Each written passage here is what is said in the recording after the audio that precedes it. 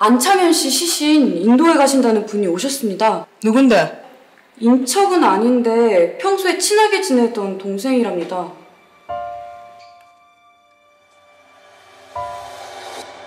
그거 다 쓰시고요. 아래쪽에 형광펜으로 표시된 부분 보이시죠? 거기다가 사인하시면 돼요.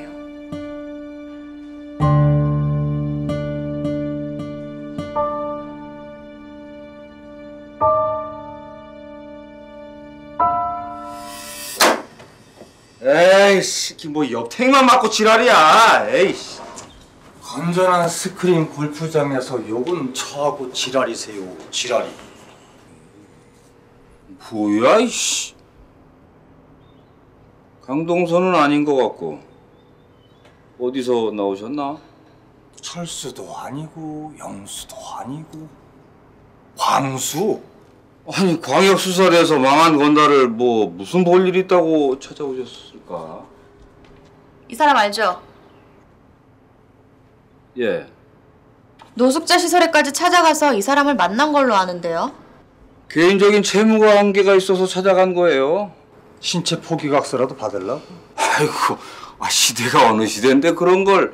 아, 그리고 얼마 되지도 않아요. 한 3, 400. 조직 망하고 대포 사업 한 거 아니야? 무용고자 노숙자 상대로 명의 헐값을 사들이고 말이야. 그러다 빈정상하는 일이 있어서 확 죽여버리고. 아니, 무슨 말도 안 되는 소리를. 그 사람 명의 조회 한번 해보세요. 내가 뭐 도용한 거 있나? 오케이 오늘은 여기까지. 경거망동하지 마라. 오빠 나이샷. 쳐. 잘 쳐.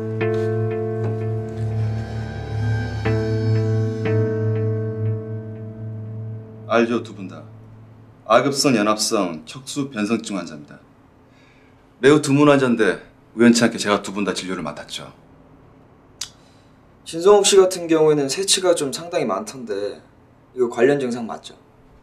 네, 드문 케이스지만 다량의 세치가 나거나 백발이 되는 경우도 있습니다.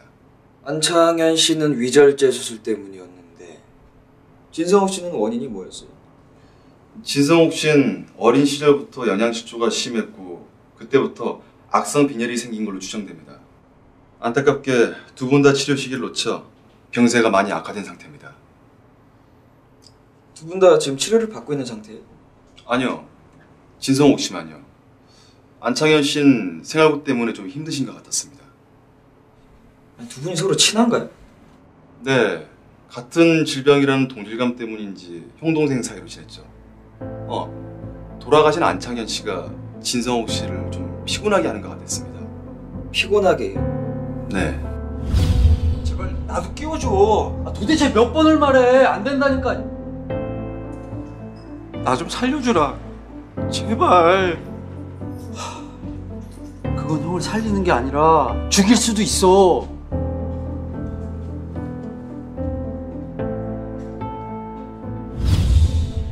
살리는 게 아니라 죽일 수도 있다. 그게 뭔 말이래? 글쎄요. 그것까진 구체적으로는 저도